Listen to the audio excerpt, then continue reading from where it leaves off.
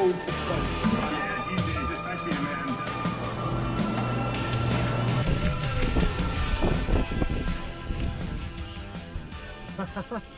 Like, what happened?